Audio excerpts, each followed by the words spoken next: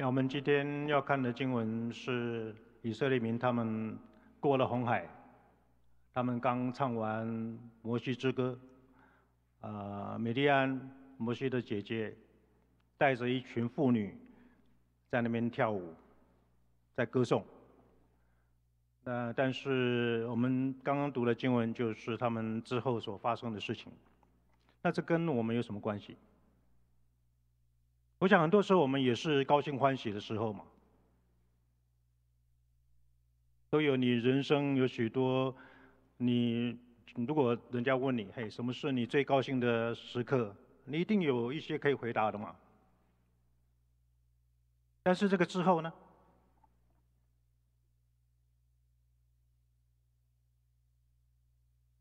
是不是也会像以色列民他们在旷野找不到水喝？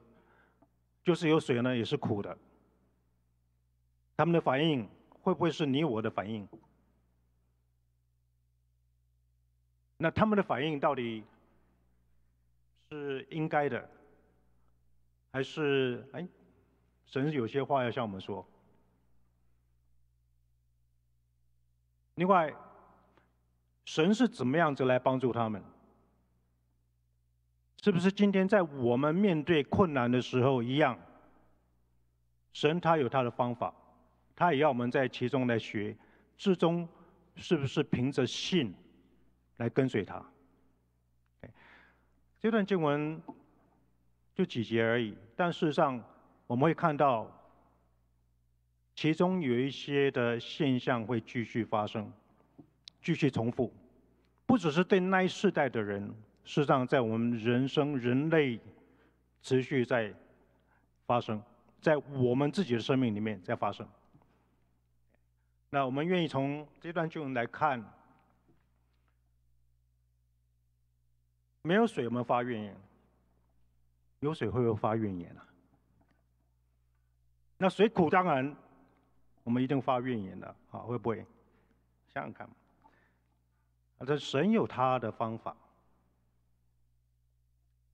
一棵树丢进去就变成甜的啊！神肯定有方法。如果是神的选民那，一定要受试验；如果是神所爱的，一定有一些要学习的。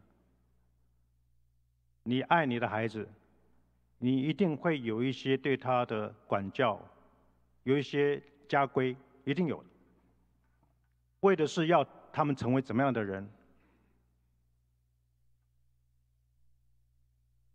重要是主角是神，他是那蛮有能力的神，同时是有恩典、怜悯、慈爱的神。他会行医治，他会赐下水源，是你我所需要的。有谁可以不喝水来存活？当然不可能嘛。但至终是这一位神，他顾念你我的需要。他赐下，今天我们坐在这儿，就是一个明证，很清楚的写明他是有恩典又有能力的神，他顾念你我，所以我们想要来探讨的就是，在这段经里面要帮助我们来了解的什么样情况里面，我们我们会发怨言。那我们应该是怎么看？当我发怨言的时候，或者别人发怨言，我们应该怎么样来看？那神是不是会试验、试验他的儿女，试验我？我怎么样看？这是不是试验？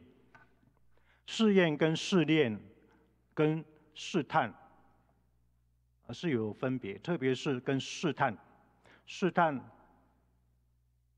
就是不怀好意的这样子的来测你，来试验你。试验跟试炼本身是好意的，是愿意你成为好的、对的。经过这些，让我们看见我需要在哪里，还要主的怜悯帮助。那神他是提供医治吗？很多时候我们可能觉得神他不太管这个。我身体软弱，神不会医治；我心里愁苦，他不医治。但神会不会医治？问题是我要不要接受？我愿意接受吗？可能他所医治的方式跟你我所想的不太一样哦。这些真理跟其他人有什么关系？还是只有跟我有关？我们如果接受这样的真理来改变我们当中，是否能够也一样来成为其他人的祝福？所以有些什么需要做改变的，这是我们自己。当我们明白神他自己的真理当中，最重要是先从自己开始。如果今天明白多一点了解有关发怨言，我所想到是，啊，原来他这样发怨言，这我所想的都还是对方的话，那这就失掉神第一个要告诉我们要帮助我们的是我，是我。好，我们看旷野没有水发怨言。啊，他们走了三天找不到水，三天啊，到了马拉不能喝那里的水，因为水苦，所以那地名叫马拉，百姓就向摩西发怨言说：“我们喝什么呢？”马拉就是苦的意思。拿二米，我们在路德记那边一开始就看到拿拿二米，啊，那当她后来她丈夫死了，两个儿子也死了，她要回她本城，这些妇女们看到她的时候，说这不是拿二米，然后说，哎，你不要叫我拿二米，因为拿拿二米的意思是甜的，你们要叫我。马拉，因为我是好苦啊，那全能者使我受苦啊，就这个苦，很苦。如果你在当中，你会不会发怨言？会不会发怨言？今天走了三天找不到，好不容易找到水，水是苦的。如果今天下大雨，你会不会发怨言？我知道很多时候我们早上一醒过来，哎呀，今天天气，哎呀，实在是很扫兴，准备要出去了嘛。啊，当然现在你很多时候你会看你的天气象预预告，当然比较明白了啊。但是有没有其他事可以发怨言？吃三餐的时候会不会发怨言？我桌上其实很多东西了，但是今天不太合我胃口，怎么？这个太咸了一点。有谁不发怨言的？可不可以先举手让我看一下？或者你不发怨言，但是你的心里，有没有人修养很好？有时候我会自己这样讲嘛，因为我们都有这样的情况出现。那我说的话很多时候不太合宜。那事后呢？我想，下次我就不说了。我不知道你们会不会这样哈？下次我就不说了。不说是不是表示你的心里面就是很平息？还是说你心里面在嘀咕？你的心里还是继续在牢骚？甚至说，哎呀，你怎么？我其实是为了你好才讲的嘛。我不知道我们是不是会有这样的情况。发怨言有什么不好？有什么不对？大家都发怨言嘛。哎，其实“发怨言”这个字的意思，我想是蛮有意思的。它的字，其中一个意思呢，就是在哪里住下来定居，住下来，过夜，过夜啊，就是要停一阵子了。会不会有这样的思想意念一直在你的脑中？就是这个事情呢，实在是不对、不好、不合我的意，然后一直在那么绕，就停在我的这里，一直在想，然后不讲不快。那当然对他们来讲，这个是生命的问题，没有水嘛，这个是大事。但会不会有其他小事、芝麻绿豆的事？继续，就是让我我住着豪宅，但是因为有一点点的小事，让我心里很不爽快。我就是非常在意，就是专注在那儿。我的配偶其实对我已经非常非常的有恩慈，但是我所看到就是他其中有那一点呢，让我就是过意不去。我就是抓着这个，他就是停在我这儿，我所看到就是这儿，会不会？然后我就发怨言嘛，因为我看到了嘛，这是我所在意的嘛。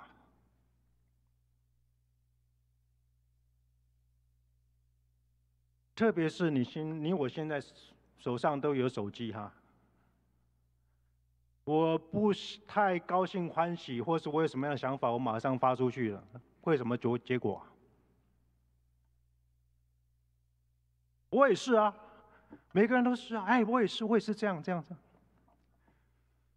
这个怨言牢骚下去，会影响多少人呢？会不会影响整个越来越走向的方向是？有想什么就说什么吗？这是真正的你呀！我要做个真正的我啊！我怎么想就怎么做，就怎么说。对吗？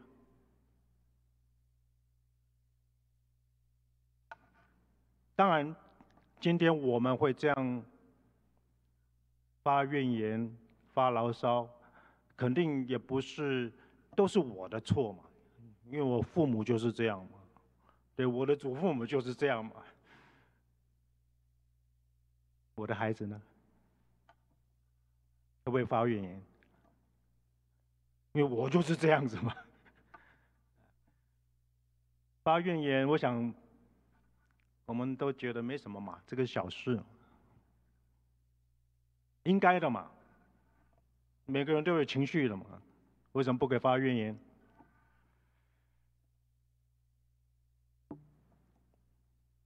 三天前他们经历了什么事情啊？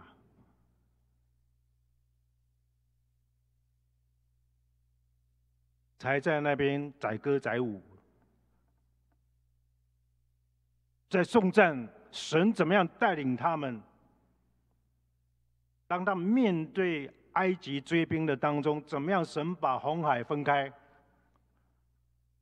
让埃及全军覆没，看到神的大能，看到神的供应，神的带领，摩西。做了摩西之歌，以色列民一起来唱。米利安带着妇女在跳舞。上上次我提到米利安，好像也要叫这些妇女一起来唱，其实不是，啊，他们也也唱这个，他们事实上是讲到这些原来在唱歌的这些男人，但米利安带着妇女呢是一起在那边跳舞来回应。他们告诉他们：“你们要唱，要赞美。”所以我上次有大概两次，我写一个女字旁的“你们”啊，是应该是男人的“你”啊。但无论如何，我们所看所看到的是他们在唱歌、跳舞，在歌颂神。三天之后，他们现在在抱怨。可以多一点来思想你我生命里面所经历的，神有没有恩待我们？主有没有保守我们？我们在美国哎，我们现在在这儿，一起可以自由敬拜，有没有神自己的供应保保守？有谁可以否认神不是这样一位神？还是都是凭我自己的能力？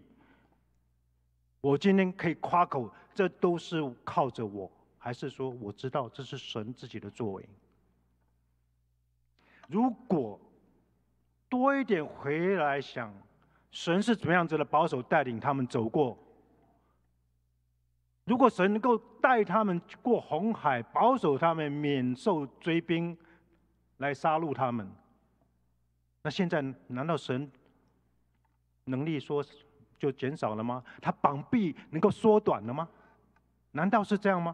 难道他不管我们，把我们从埃及带出来，就是把我们扔在这儿，让我们渴死吗？我们会不会也这样想呢？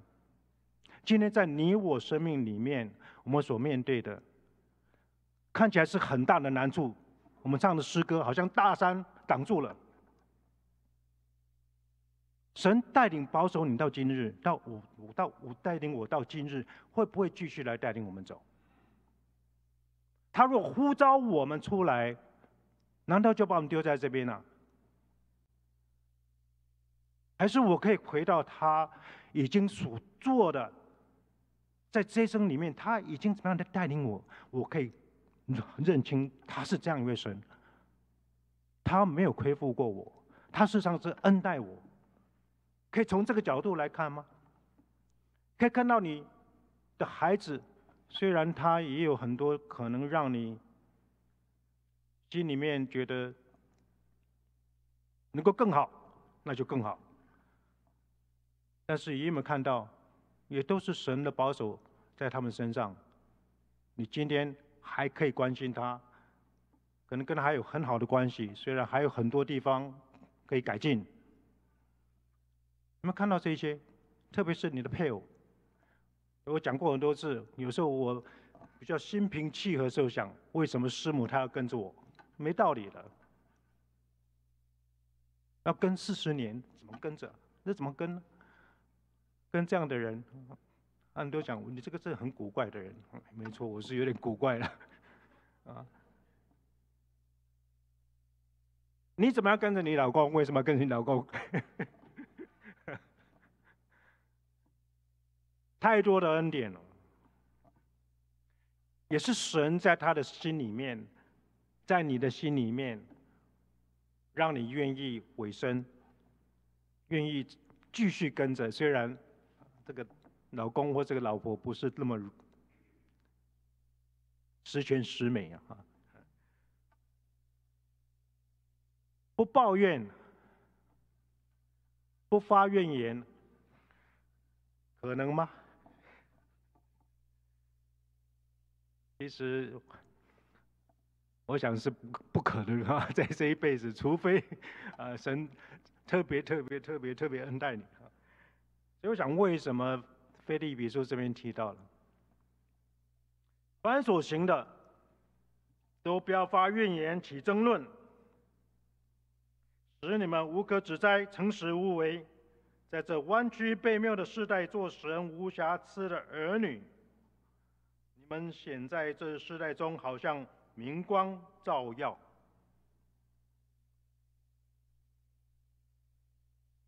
要发怨言，起争论。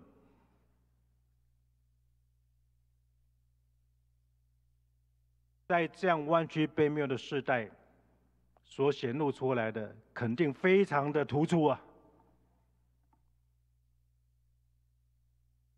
遇到疫情。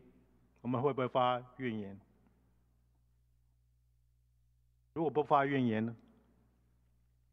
遇到执政掌权的，很多时候所做的，我们会觉得，会不会发怨言？不用这么大事了。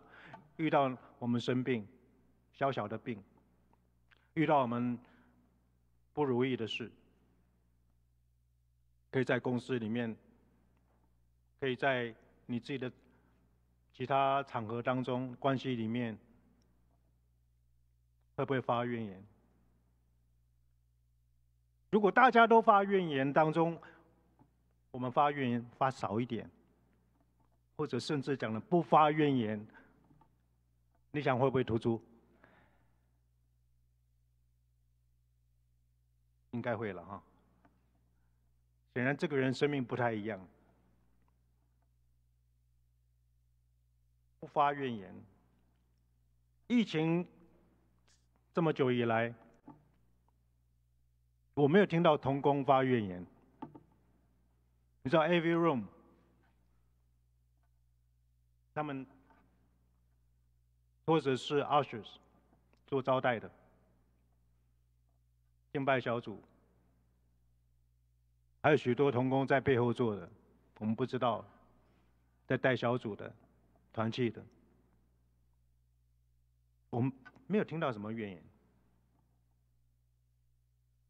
为什么没有发怨言？其实《菲利比书》前面很重要，上下文非常要紧。上面所提到的，要看别人比自己强，就是要看重别人，然后接着用主耶稣他自己，我们要以基督的心为心。他怎么样谦自己，能谦卑？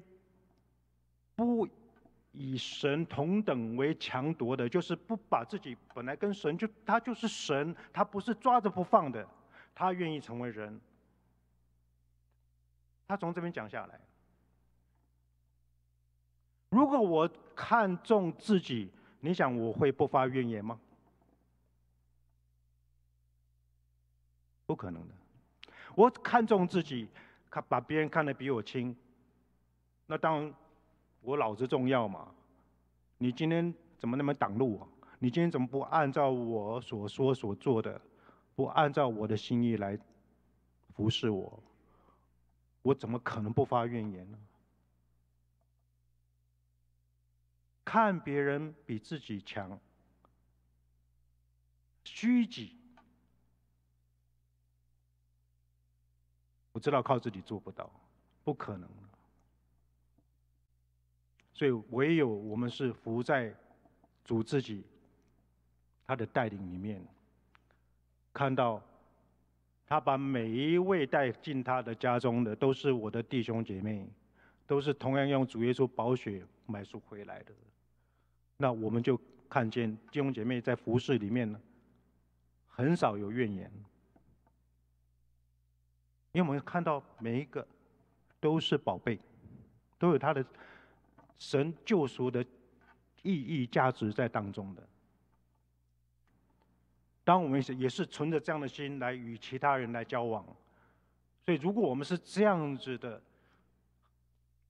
很少发怨言的当中，我深信神就在使用你我。菲利比这这边提到的，在这弯曲背谬的时代，要做光的子女来照耀的，人会看见的。你是不一样的生命，同样的遭遇，但是有不一样的回应、反应。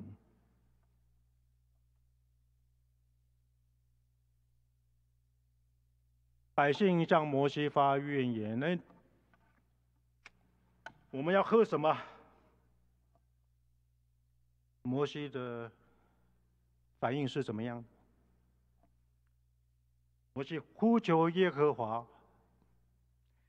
耶和华指示他一棵树，他把树丢在水里，水就变甜了。摩西有没有向神发怨言？那都是你叫我吗？当然他也会的，他也有软弱的。对，我们之前也看到了，他讲跟法老见面，结果百姓就要做更重的工。他们当然就会怪罪摩西跟亚伦去找法老，要把他们能够带离埃及。摩西当然也会，但是在这边我们所看到的，其实他是已经在学习、在成长了。摩西知不知道怎么样方法能够让这个水变甜呢？如果走了三天，遇到的水是苦的。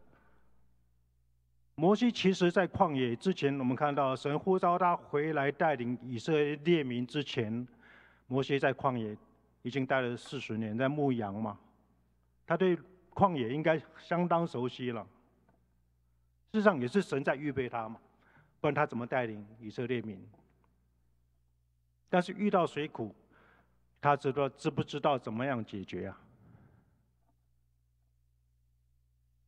今天我们在人生的路上也是嘛，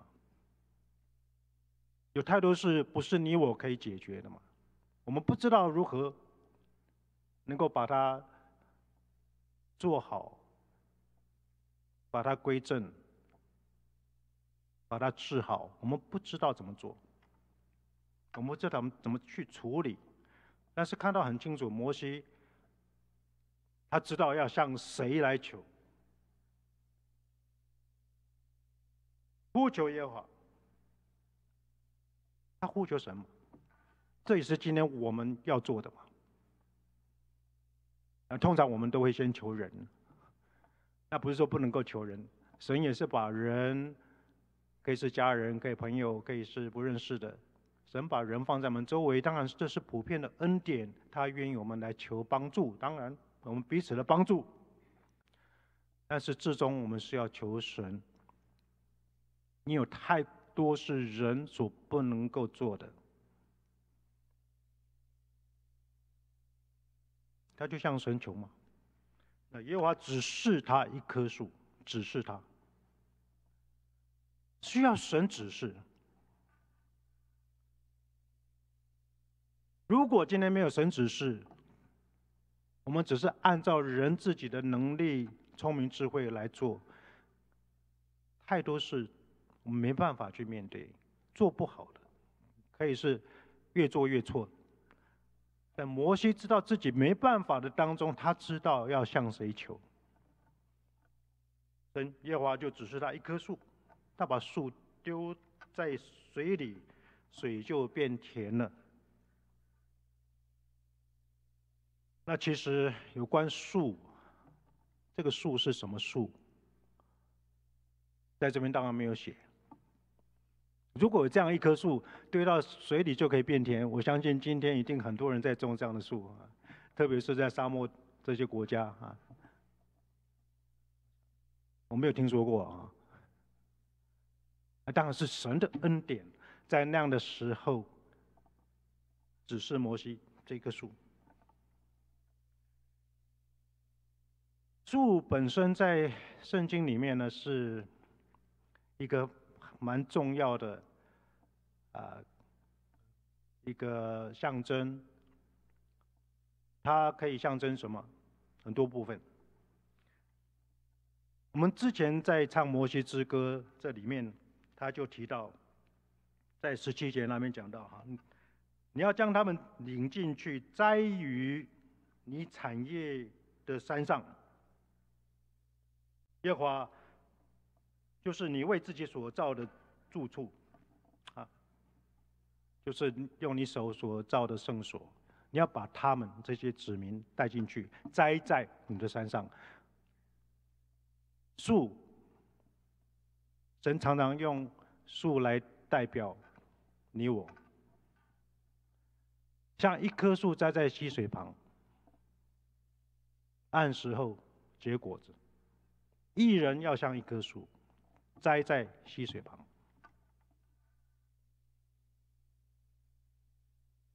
耶稣讲他自己是真葡萄树。以赛亚先知神透过他讲，他把以色列民好像葡萄树从埃及带出来。他种的是本来是真的葡萄树，但是却成了野葡萄树。神常用这样子来代表人，人。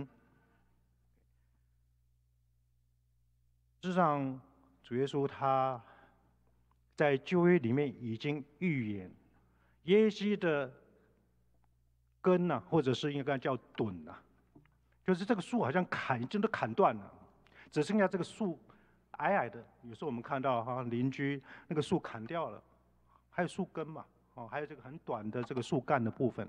他讲这个墩啊，耶西的墩会发出根来，shoot 啊，这个芽会发芽。他讲到就是讲到已经预言耶稣基督会出来，好像已经都被赶尽杀绝的当中呢，君王会出来，救救世主会出来。树很重要的在代表它。其中的意义讲到人，特别是讲到耶稣基督。但树另外还有其他意义，我们待会再谈，或者下次再谈。在紧接着经文里面提到的，在二十五节后半部啊，二十二十六节，耶和华在那里为他们定了律例典章，在那里试验他们，又说：你若留意听耶和华你神的话，又行我眼中看为正的事，留心听我的诫命，守我一切的律例，您等等啊，待会我们再谈。但是这边我们看到，就在那里，神为他们定了律例典章，在那里试验他们。选民必须要受试验。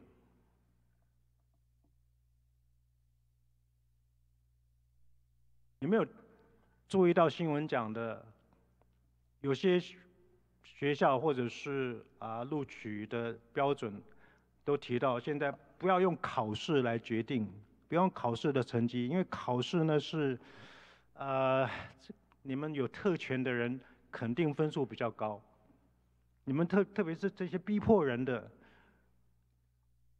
这么多年来的结果，你们总是占优势，所以不要考试了，从今以后不要再考试。我们为为什么要考试啊？为什么要试验呢？你如果是做品管的，要不要试验？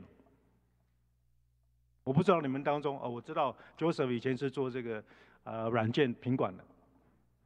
你们怎么做品管呢？一定有个标准吧？一个标准，然后你还盖章，哎，我这通过了 QC 啊，或者是 QA 啊，有标准。那标准你说要不要？要不要？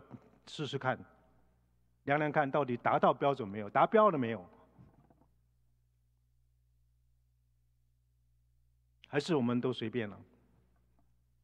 家里到底有没有家规？还是怎么样都可以？肯定有吧？没有写下来而已啊！你孩子都知道，妈妈数到三的时候，我才要听话。爸爸大声一点说，我才听话。我们现在也在邀请一些比较年轻的弟兄姐妹，特别是弟兄，就是做丈夫的、做父亲的，已经信主的。我们希望能够多一点从教养孩子的这一方面，能够从神的真理里面来帮助，一起来走。箴言有许许多多讲到有关管教，他讲到要管教你的孩子啊，不可以任他的心死亡。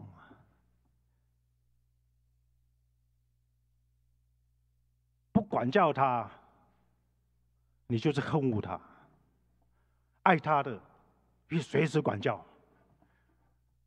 管教是就是一个试验啊。因为你有一个试验，他当他没有做、没有按照这个试验，他没有遵行的时候，需要管教。为的是什么？不是你要发泄出气在他身上，不是。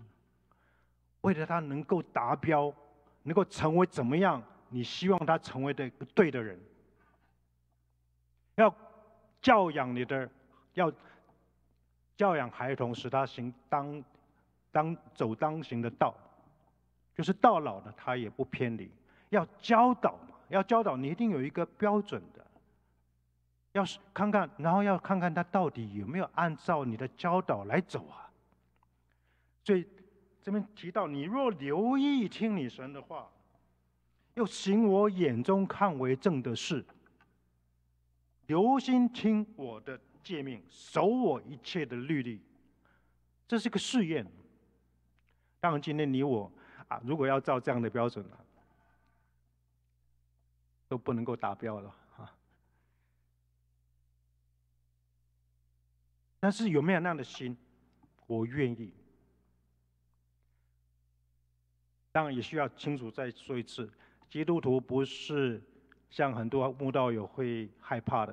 啊，这个可以做，那个不能做。啊，不是这些外表的做与不做，许多的条例。当神设立这一些，是要他们的心，他们的心能够第一个回到神的面前，尊重神。做父母的来教养孩子一样，他们需要学怎么样来尊重父母。他们还要愿意，不是我想做什么就做什么。以色列民发怨言，就是我尊重是我自己。行我眼中看为正的事，是谁的眼中啊？如果是我眼中的，那就像士师记所说的：以色列人行耶和华眼中看为恶的事。另外，在其他经文讲到是，那时以色列中没有王，个人任意而行。那任意而行，其实更正正确的翻译就是行他自己眼中看为好的事。行他自己眼中看为好的事。今天要是没有这些试验，没有神加添下来帮助我们去看了解自己的话，我是看我眼中我自己看为是好的事，我就怎么做。你说黑命贵，黑人的命当然是宝贵，但是其他人呢？这不只是那样的意思，黑命贵事实上有其他的他自己的 agenda，他的一些议题。但是如果今天只是我所想的这个叫做社会公益，我们走出来的就是现在的情况。我看作是好的，从我眼中看的，那你眼中看的跟我会不会一样？能够不发怨言吗？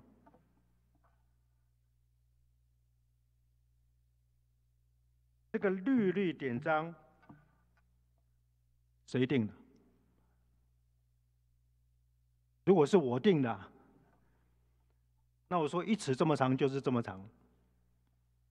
我说斤两是这样是一斤就是一斤，那你服吗？你想我会偏自己还是偏你？我手肘是往内弯的嘛，对不对？谁定这个标准？到底应该是谁定？如果今天没有神了，谁的拳头大谁当家吗？谁说话算数吗？当然你也不会服，你心里面肯定。会发怨言，肯定不能够表达出来，有可能。选民要必须要受试验，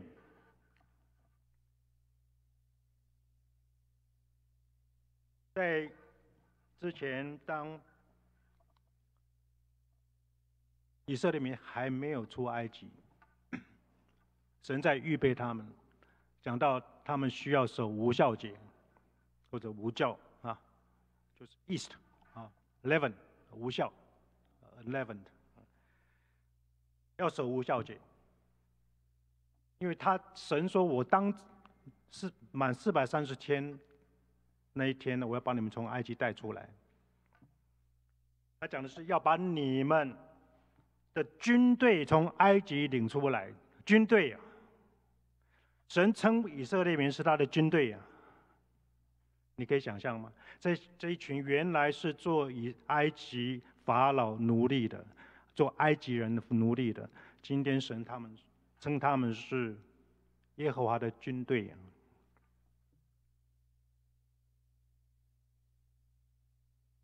当然，神称他们也称为是要做自己的子民，把他们栽在他的山上。神要这一群原来是为奴的、只顾自己的，今天成为他的军队，可以跟随他、服侍他的，是他所爱的。你想需不需要试验？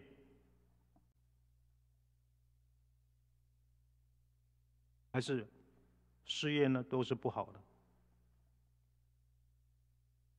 我们可以看看我们自己生命嘛，有多少试验？我会不会去看说，哎，这是神他愿意我来看自己，原来我是这么不知道感恩，原来我是这么容易就怪罪别人，原来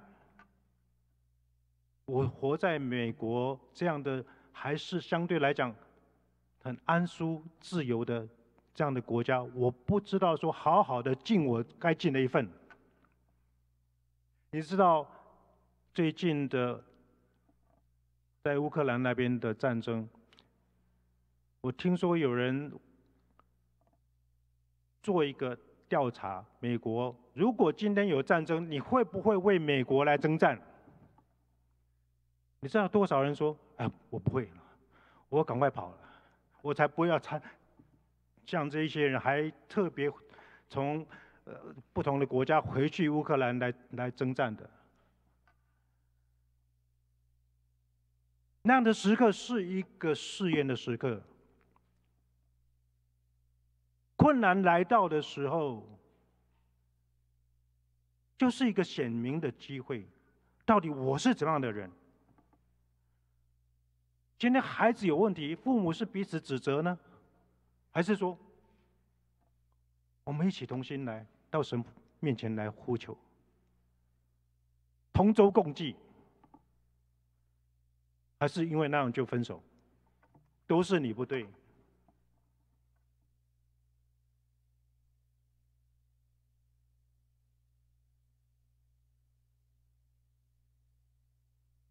需要受试验，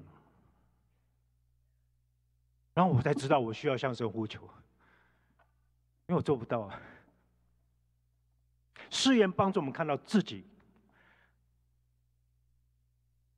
试验是一个窗户，看我的内心。但是需要神的真理来帮助我看，不然我还是用自己的角度看，肯定看错，看到都是别人不对，看到或者只是自己的不足，我没有出路。看到我就是这样子，永远不能改。这不是神的心意，神愿意我们是看到的是。在这样的试验里面，我虽然不及格，但是神他恩典继续愿意帮助我们，他的真理继续要来带领我们、释放我们，继续在改变我们。这是一个成圣的过程。我们一生持续还有许多的试验，其实试验不是在这个时候才有的。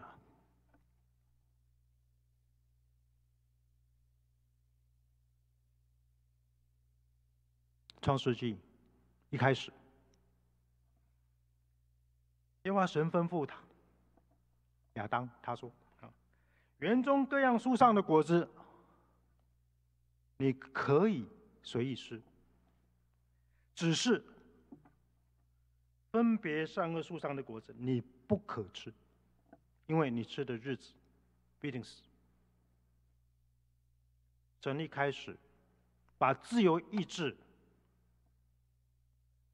当我们说神按照他的形象造人，他把这个自由意志一起造在人的里面，所以你可以选择，所有园中的树上每一颗果子都可以吃，只有这一颗不可以吃。你要做什么选择？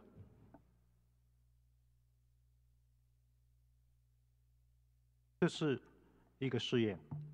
一开始，在自由意志当中，我们就需要去学，到底我要听神、尊重神，还是我要听自己？行我眼中看为好的，还是要行耶和华眼中看为正的？到底谁才是神？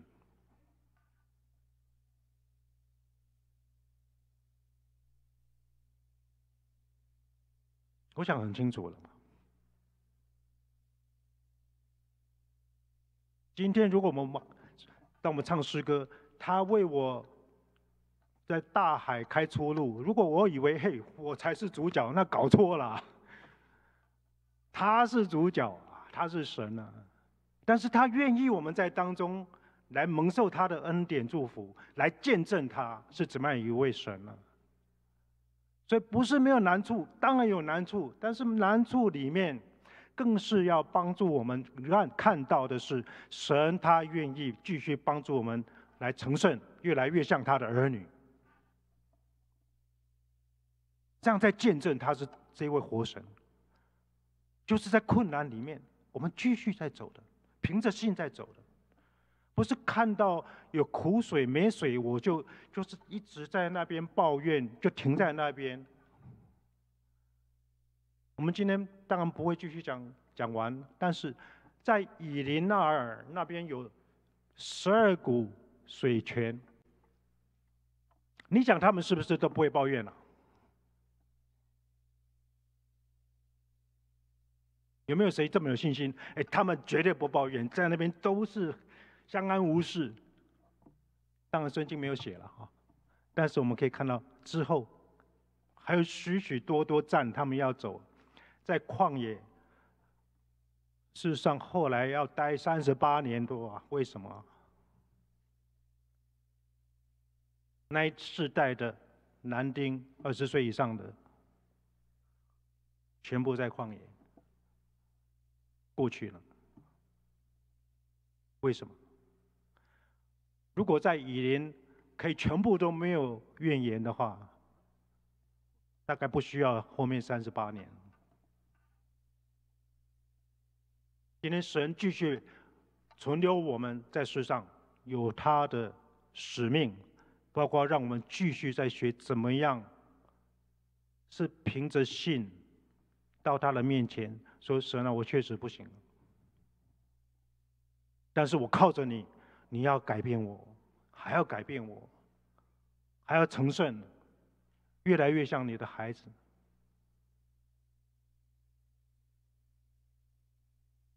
神愿意我们，愿意我们经过这一些，是有他的美意。再说一次，试验不是试探，但是恶者可以让试验好像变成试探。因为我们凭着自己的恶心来回应，就中了恶者的诡计。神他可以让这些难处摆在你我的面前，他的用意是愿意我们按照他的真理来回应，凭着信来回应。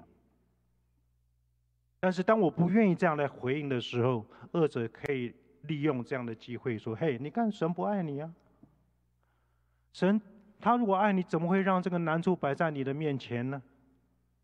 他爱你，他怎么好像不听你祷告呢？不替你开一条路呢？神试验我们，是要我们回到他的面前说：“主，我知道你可以开红海，你当然可以继续带领我。可能不是开那个大的路，可能你用直升机把我带过去都可以的。神，你有你的方法的，我不知道你要怎么做，但是我晓得。”你既然信实的带领我走到今天，我绝对相信，主啊，你愿意继续使用我，来见证你是怎么样一位神。特别是我们今天是中之主日，主耶稣他知道他马上要面对的就是被钉十字架，他有没有怨言呢？我们没有看到四福音书里面，当然不是只有从四福音你可以记载看到，乃是他是无瑕疵的羔羊，他没有发怨言，因为他看到前头的喜乐，他就可以忍受十字架，他定义就是要上十字架。如果是这样一位神，我可不可以求主给我多一点信心？再给我多一点信心。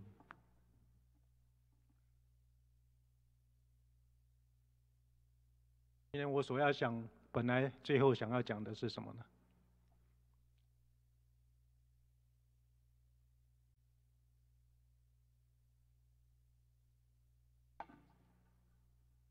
希伯来书